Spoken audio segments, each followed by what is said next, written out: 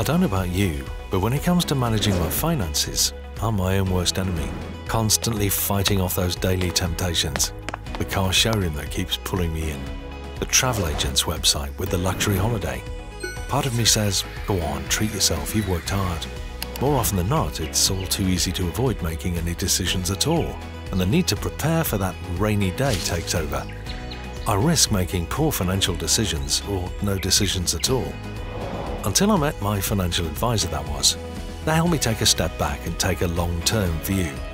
They made me realize I was carrying a whole suitcase of financial misconceptions around, like wanting what was working now rather than what's always worked, making decisions based on instant gratification instead of the long term benefit, selling falling investments and buying them back again when they rose, a surefire way to lose money, trusting my decisions more than any hard evidence. Instead, my advisors worked with me and worked out what I really wanted, helping me channel my emotions and make sensible decisions.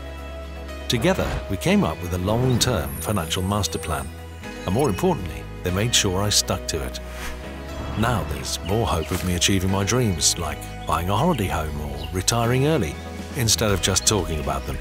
No vague hopes, just a well thought out strategy, giving me the confidence to achieve and maintain financial independence.